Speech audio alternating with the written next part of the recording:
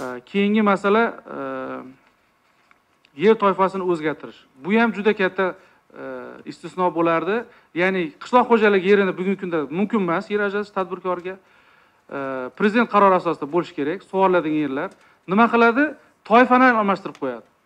Toifasini yer toifasi bu deydi qishloq xo'jaligidan noqishloqqa o'tkazamiz deydi. Bitta qaror bilan toifasini almashtiradida keyin berib yuboradi. Mana shunga o'xshagan Э, istisnolar ham hozir yopilyapti. Ya'ni yer toifasi agar sug'oriladigan yer bo'lsa faqat prezident qarorida. Mana ko'ryapsizlarmi qanaqa darajaga chiqarilyaptiki? Nazorat.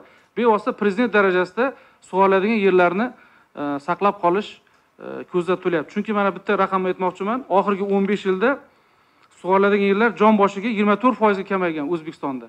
yigirma to'rt foizga sug'oriladigan yerlar kamaygan. Juda katta bizni boyligimiz bo'lgan sug'oriladigan yerlarga mana mana shunaqa nol yigirma uch gektar yer to'g'ri kelgan bo'lsa o'n besh yil oldin. Hozir nol o'n olti gektar to'g'ri kelmoqda.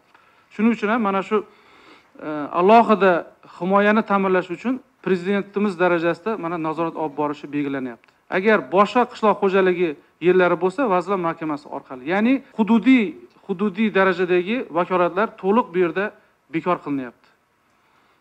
Yer toifasi bo'yicha tezkor muhim va qiziq yangiliklardan birinchilardan bo'lib xabardor bo'lishni istasangiz kunuzning telegram kanaliga a'zo bo'ling